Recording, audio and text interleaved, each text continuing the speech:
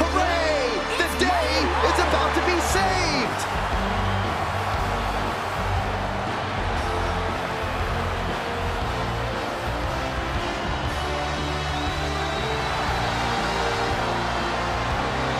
I always thought the women's division needed a superhero.